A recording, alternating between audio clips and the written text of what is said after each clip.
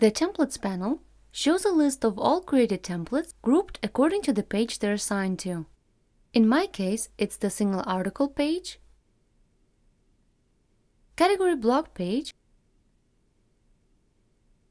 and the featured articles page.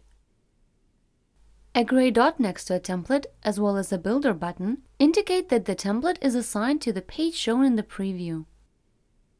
To edit a template, simply click on it. A modal will open where you can change the template's name, status, and the page to which the template is applied. Depending on the page, there are different filter options to specify and restrict the assignment. A delete button is also available in the upper right corner.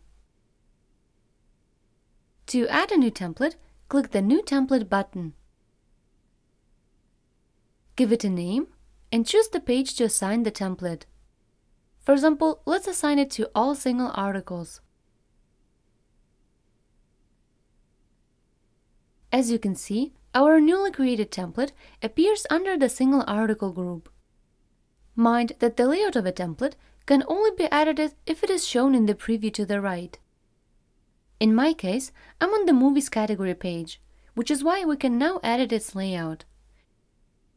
But if we go to a different page, for example News, the Builder button will appear next to the template assigned to the News page.